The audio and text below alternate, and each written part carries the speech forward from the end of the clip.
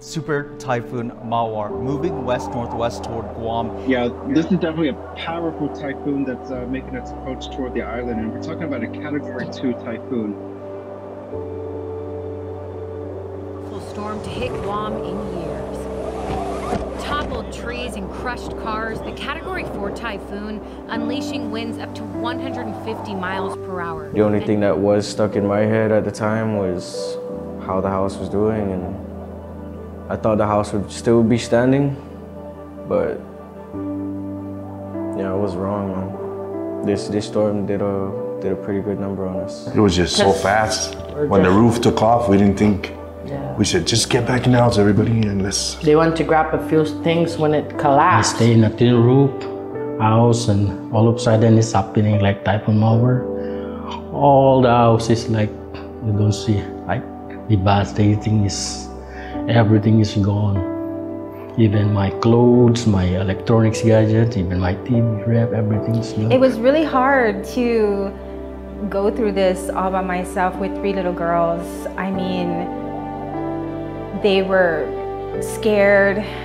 They didn't know what was going on. They didn't know what to do. They couldn't help me. They were way too young. And I mean, in their mind, they just thought that we were gonna lose our whole house. We have both boys next to each other. So one of them, his own room took off. That caused the flood, the damages. So the only way to get at the water, we had to drill the wall to make the water go out from the rooms because it just, it just stayed there. One was really sad.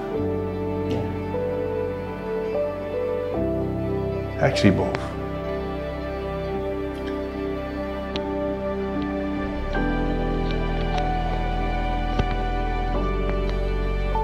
Um, it's just um, for my daughter to witness it and her having to go through the flooding as well and helping out. And for that, it was something that I will always remember as well for her to go through that and also my family as well. Sometimes it takes forever, and you're thinking, when are the Mets going to get here? They'll be here. Um, hang tight. Um, and then we will be regret asking for the Mets to get here.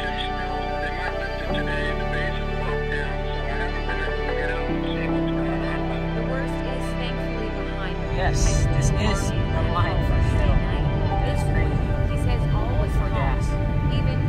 probably run out of gas before you put gas.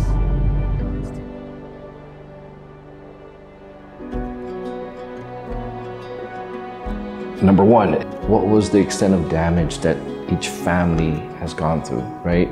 Uh, did they have some significant property damage and loss um, or major, right? Meaning losing a roof or losing a home, right? And so we were able to gather that information so that our leadership can determine what it is that we can do to assist, most especially the, the, the hardest hit families. For the week following the storm, AK had provided lunch to all the associates. But even better, they provided dinner for all of us. So before we went home, they would provide dinner platters for all of us. And being alone and taking care of three young girls uh, was such a blessing. I didn't have to worry about what I was gonna cook when I got home. I didn't have to worry about waiting in long lines to get something to eat. It was such an amazing gesture and it's probably what I appreciated the most out of it. They give me a two thousand dollars grant aid, they call it. That's the good thing, AK. And you know, they looking after that. You know, they give like support their employee. That's why I'm really blessed. I work at AK. I'm really thankful. So with the grant aid, I, I am very thankful and appreciative of Inchcape, AK, and Toyota for um, approving of that grant aid, especially due to I, I'm pretty much still on my um, three-month probation for Avis, you know, and seeing how much they were they were willing to help uh, in this disaster, and this this company is um, It's really good, man.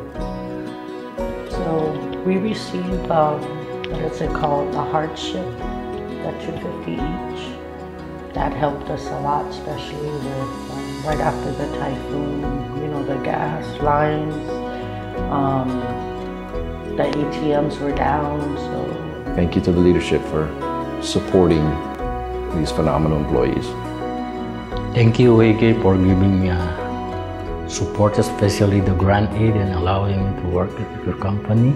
And my shop family, and the LK, AK family, and SK family. Thank you very much for giving me opportunity. We are grateful for the donations of chainsaws and generators that came from our colleagues in Saipan. It makes me proud to represent a brand like Toyota. Their contribution to make, make sure we all had some assistance to help us get back on our feet speaks volume of who they are as a partner and how much they value us and the livelihood of our community. Thank you, AK. Thank you, Toyota. Thank you, AK.